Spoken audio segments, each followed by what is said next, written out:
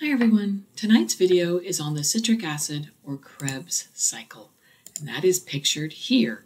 The Krebs cycle or citric acid cycle happens in the matrix of the mitochondria. And if you recall, that is the innermost space of the mitochondria. So let's look at the Krebs cycle in a much closer view. So pyruvate moves into the mitochondria. As you recall from the glycolysis video, Pyruvate is what is produced at the end of glycolysis, and there are two pyruvate molecules for every original glucose. This is called pyruvic acid here in this graphic.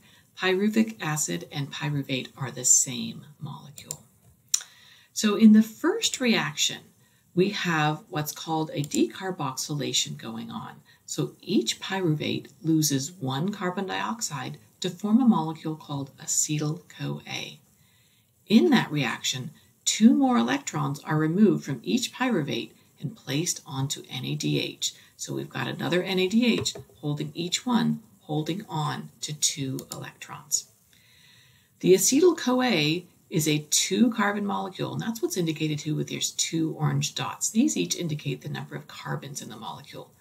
That is what is going to enter our citric acid or our Krebs cycle. And remember, these two carbons came from pyruvate and originally came from glucose.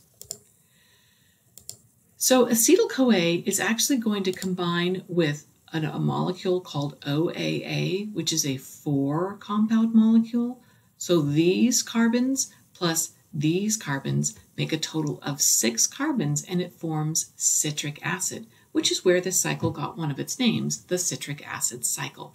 So this six carbon compound is now going to go through the citric acid cycle.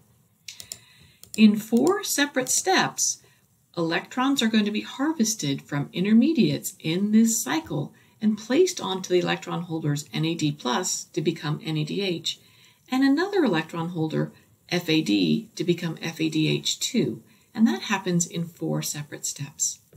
FAD and FADH2 are analogous to NAD plus and NADH.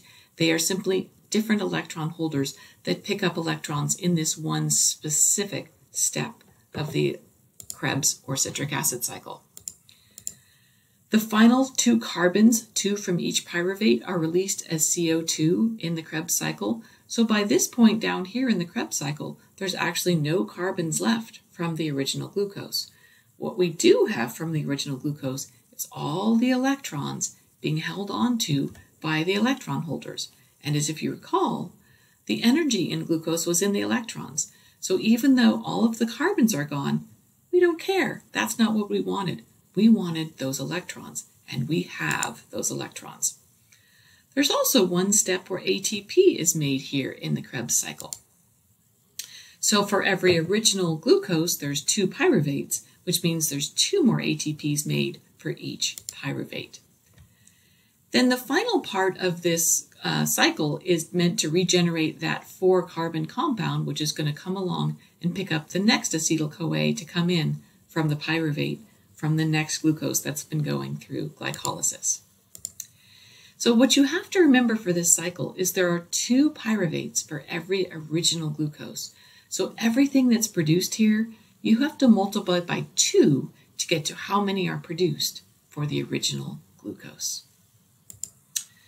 So let's look at our overall balanced equation for respiration here, where we had glucose plus 6 oxygen goes to form 6 waters, 6 CO2s, and 36, maybe 38 ATPs. We no longer have any of the glucose. That's all been made into CO2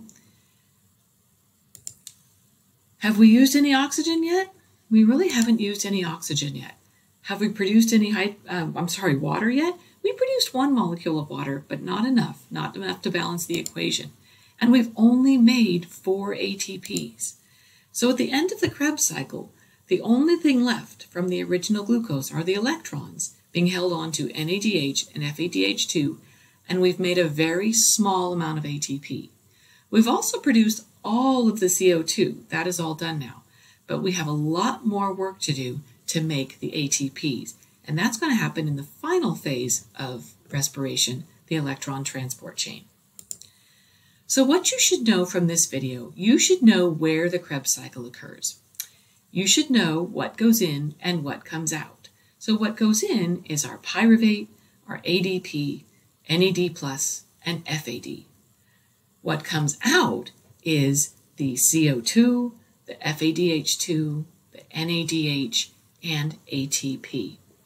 You should know the relative amounts of ADP and NADH. Is it a little or is it a lot? It's really a very little amount of ATP, but we've made a lot of NADH and FADH2 in this cycle. Did we use any oxygen? No. Is there carbon dioxide produced? Yes. This is where all the carbon dioxide is produced in the process of cellular respiration. So that's all for tonight.